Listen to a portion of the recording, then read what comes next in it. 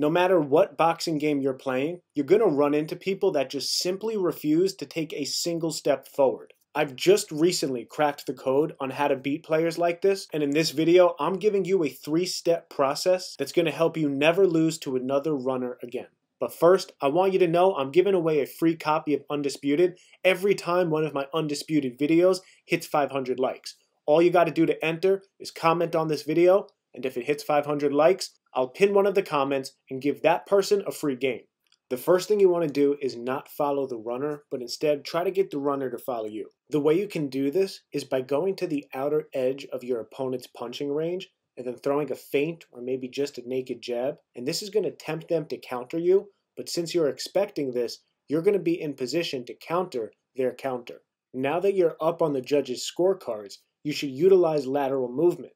And since the runner knows he's down on the cards, this is essentially going to force him out of his shell, and he's going to have no choice but to come forward. But let's just say that you don't get ahead on the scorecards, and now the runner is free to ride that bicycle around the ring. Here's what to do next. The first way is to make it seem like you're walking right into one of their jabs. But just as they throw their jab, slip to either the left or the right and throw a hook. For the second counter, you want to once again walk toward them and make them think you're about to attack and then just at the right moment, click your left analog stick backward and press Y to do a pull counter. Now those two ways work great and all, but this third way is far more practical and will land at a much higher percentage. The third and final way is called the catch and release counter. This is when you block your opponent's punch and right at the second where you block it, you return with a shot of your own.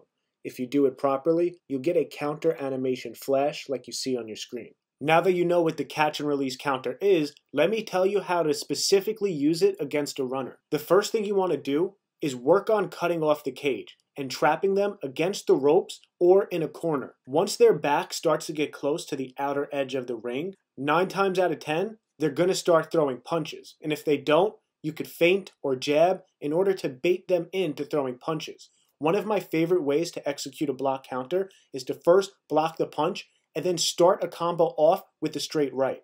I would encourage you to play around with this mechanic and see which shots land the best after blocking different shots. So, a quick recap of today's lesson. First, get your opponent to follow you around the ring, either by using lateral movement or feinting to bait them forward. Second, use counters like the pull counter, the slip counter, and, by far the most effective, the block counter. In order to use these counters against a runner, you're going to need to pretend like you're on the attack and then at the perfect moment, slip and perform your counter. Remember, if you want to enter for a free game, just press like and leave a comment on this video. I'll pin the winner once I hit 500 likes.